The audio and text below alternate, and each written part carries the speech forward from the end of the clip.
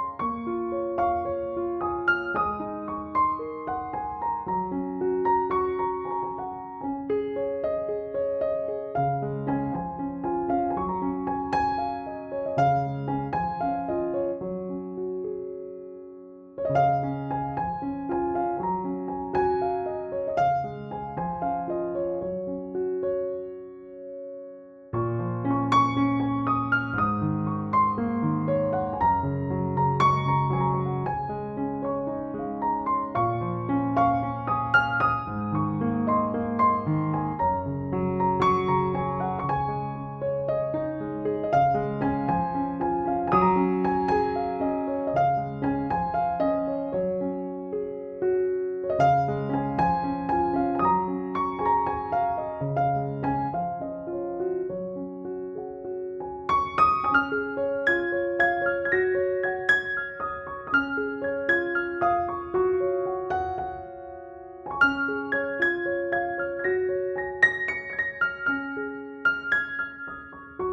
艾薇巴迪，这应该是颜值最高的雪媚娘了。今天我真的是收到了我做视频以来最恶毒的消息，我来给你们念一下啊。艾卫巴迪兽被人称为子航，他有着极高的做菜天赋，可是记忆力却一言难尽。他们以恐龙一起出现，而且以名为粉丝的生物的小爱心为食物，平常以做美食迷惑粉丝，让他们给他主动喂小爱心。目前世上只剩下一只母的，好在它怀孕了，不是怎么回事？我怎么就成母的了？简直就是伤害性不大，但是侮辱性极强啊！散会，没心情唠了。今天你长胖了吗？拜拜。二位爸迪，迪士尼在逃蛋白糖。你们以为我是一名美食博主，其实大家都认为我是声控博主。你们以为我是一名声控博主，其实我还是一名穿搭博主。你们以为我是一名穿搭博主吗？其实我是一名宠物博主。最近家里出现了新的成员，就是他，雪橇三傻之一。哎，有了他，让本不富裕的家庭更是雪上加霜啊！给大家说一下，我家里现在是有三只猫咪，三只狗狗，我觉得已经是动物园级别的了。你们要是想看看我家的成员，聪明的小可爱已经自己找起来了。今天你学废了吗？拜拜。